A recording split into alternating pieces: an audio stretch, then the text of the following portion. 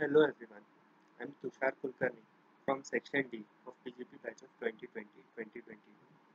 Today, I'm going to talk to you about natural gas economy. What are the what are some of the challenges which this government may face in achieving that particular goal?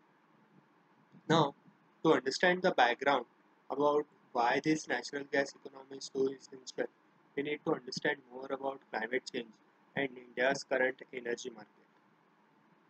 As you know, after Paris Agreement, everyone, rather every country and every major institution is much more cognizant about various emissions that particular industry is creating and the environmental impact it has. If you see India's current energy mix, it is predominantly coal and oil. Coal constitutes more than 50%, whereas we are the third largest oil consumer. To reduce this heavy dependence on these two fossil fuels, which have detrimental impact on the environment, we are looking rather as a country we need a better and cleaner fuel. One of the option is renewable energy, but switching completely to completely to renewable energy won't suffice the demand which we currently have. So, as most of the developing nations are looking towards, one such option is natural gas. Natural gas, even though is a part of same fossil fuel category, is way cleaner than coal and oil.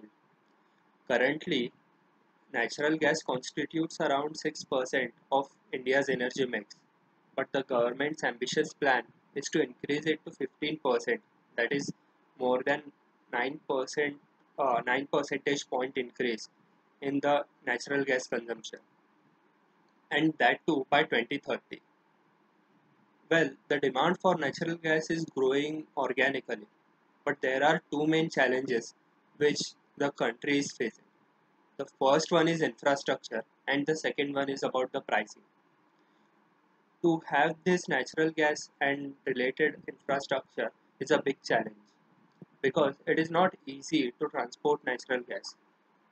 We need pipeline infrastructure if we are transporting in the form of gas. Also, the import the importance of imports will always be there because the India's own production of natural gas is not enough. So if we are importing natural gas through ships, we require regasification terminals on various ports. So that is more of the infrastructure problem and India is working heavily or rather investing heavily into it. The second part of the problem is about pricing. Currently India have three type of prices for the same molecule which is fascinating. The first one is about the administered price mechanism or rather often called as APM market. What happens here is government have leased out various basins uh, which are producing natural gas to majorly state-owned companies like ONGC, BPCL, HPCL. These companies produces natural gas at a very low rate and government have fixed the price which at which they can be sold. This is majorly to this is majorly catered to fertilizer industry because as you know their output is also priced at a particular level by the government to help farmers.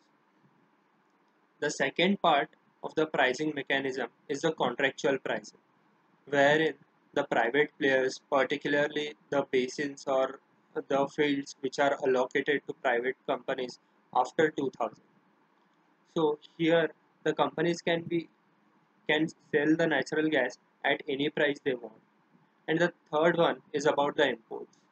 So to give you the last year's figures, the administered price was somewhere around $1.7 for million BTU, whereas the contractual price and imports were fluctuating somewhere between $4.5 to $6.5. This huge difference in the price for the same compound disin- disinterest many of the existing players. So, to grow more into it, to produce more natural gas within the country, we need to sort of uh, make sure that all the players in the market are given equal treatment and equal opportunities in terms of price and profit making. Currently, 80% of the natural gas which is sold in the market is from the APM market. So that segment is something which the government needs to address, particularly after this marketing reforms. Thank you.